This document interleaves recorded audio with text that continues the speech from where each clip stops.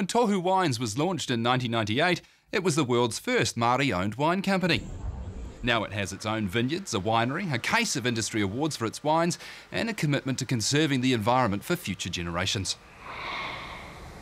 We started back in 1998 with contract growers, made a very small couple of thousand cases of Marlborough Sauvignon Blanc, and then have kind of grown from there into owning our own vineyards, developing our own vineyards, sourcing fruit from bunch of different growers and kind of different sources around Marlborough, Nelson, Gisborne, Hawke's Bay, all across New Zealand really. And as of about three years ago, we purchased a winery as well. So we're now kind of fully in control of that whole process from growing the grapes through making the wine with our own staff and uh, right through to bottling for us.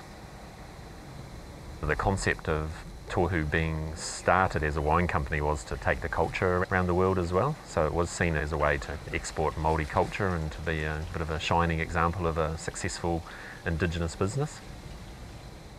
One of our biggest challenges with developing our own identity with our wine would be getting control over the process and trying to differentiate ourselves from other, particularly Marlborough wine producers, you know. So we've really tried a few kind of value-added things, I suppose, which would be our branding and pushing ourselves as a Māori company. Also our single vineyard approach, so all of our Tohu wines are single vineyard wines, so we've really tried to kind of differentiate ourselves by focusing on what we think are very special vineyards, like our Awatere vineyard.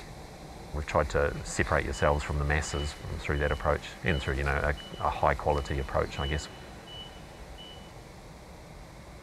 Sustainability is a big factor in all wine producers in New Zealand. You know, we're all pretty much, well, 90 odd percent of us are part of sustainable wine growing New Zealand, so that's kind of just a baseline for us. Where we're looking into the future is into organics. You know, we're not, um, we don't have any claims at the moment to be organically certified or really producing organic wine from organic grapes. We are growing organic grapes and we're kind of in a transition period really while we try and get our head around some of the challenges with it, particularly as regards things like bronze beetle, um, disease control, and uh, yeah, it's mostly around disease and kind of controlling your pests basically.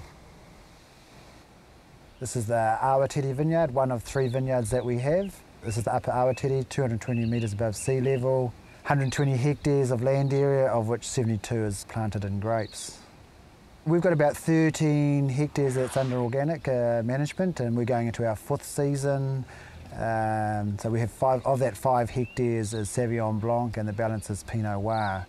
We also grow some Riesling up here and uh, a little bit of Chardonnay. So there's a number of challenges, our altitude, we have the risk of frosts up here. We're one of several sites that are monitored by Plant and Food Research our growing degree days is one of the lowest out of those other sites. The distance from Blenheim um, can be a challenge and the winds can be deceptively quite strong up here as well. We have two systems of frost protection. The pond uh, that we've constructed was we could only build one big enough to cover roughly about 50 hectares and then the balancing 20 hectares is covered by four wind machines cultural values fit in with organic philosophy, I guess. Some things that people may not see that's so obvious is that, just being Māori myself, just the way that we uh, deal with people. It's about having positive relationships, being good hosts, about being kind to people. Uh, we practice or do certain karakia uh, uh, during matariki before we harvest. We have a karakia. Um, at some meetings, depending on the level of those meetings, we'll have karakia, we have waiata. It's, it's, you don't have to, but it's there, and we're just finding that staff are actually picking up on that. So they are thinking, you know, how Māori people think, and our company being a Māori-owned company, three and a half thousand, four thousand shareholders, it's important to them that we recognise that, you know, those values and that we practice and observe what they do. Grass grub is a major issue for us with extending our organics further to the whole vineyard. So currently in the industry an insecticide called karate is used and that's pretty indiscriminate against even beneficial insects. So we've got a three-year research program going with the bioprotection unit down at Lincoln University, PhD student from Chile. He's already 13 months into a three-year project, 20 months to go. So he's looking at the, the, habitats of them, what they do. He's been up here filming at night time during the flight seasons, looking at the moon phases, the weather, the soil temperatures, and we've been trying different biological products to see if we can mitigate or minimise the not only the, the, damage by the beetles, but can we disturb the larvae and um, the overwintering period. I'm studying the dynamics of brown beetle. There is an endemic uh, pest in New Zealand, and the larvae of this insect feed on the roots of the grass.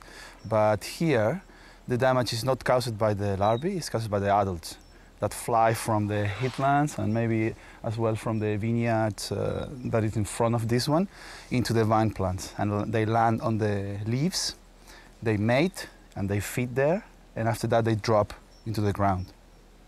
The beetles eat the leaves, but in addition they eat the shoots and the inflorescences of the plants. So in some cases you can have around 15 and 20% losses in the vineyard block in terms of uh, plant material. So far we're using different approaches. The first is try to understand the behavior. But in addition, we tried last season some feeding deterrents are based on kaolin, that is a clay, type of clay, and the other one is diatomaceous earth, that is just a time of uh, silicon, diatom earth. So we spray that on plants and we found that that decreases between 30 and 40% of the damage when you compare that with plants that were not sprayed. And the other approach is to use miscanthus. Miscanthus is a hybrid grass that is usually used for biofuel. The advantage of that is that can grow easily in two years, about four meters. So if that's the case, maybe we can intercept the beetles' flying pathways, and maybe the beetles can stay in the miscanthus instead of going to the vineyard. And the last approach is to use mussel shells, as you can see there. We applied some mussel shells in the undervine, trying to stop the beetles that could eventually lay eggs there, to lay eggs. We did that and we found that the, actually by putting the mussel shells in the undervine, we reduce by 69% the number of beetles that land on those plants. So that's amazing.